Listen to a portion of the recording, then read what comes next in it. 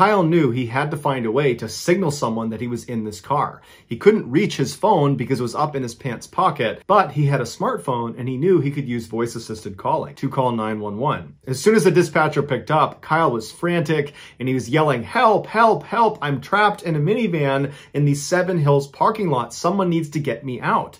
But the dispatcher couldn't really understand what Kyle was saying, and so they kept asking Kyle, where did you say you are? What's going on? But Kyle, he can't hear his phone. Local police were sent to the Seven Hills High School area to go look around the different parking lots. These police officers were not even aware what they were looking for. Those two officers left thinking, there's nobody here, there's no trouble, and that was it. Kyle was left all alone. Six hours later, Kyle's father went out looking for him, and he found his son's minivan, and when he went up to it, it was too late late.